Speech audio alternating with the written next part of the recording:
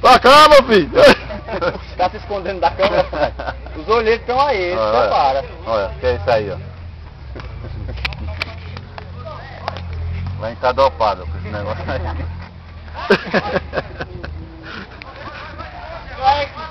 Vamos lá então. Ah,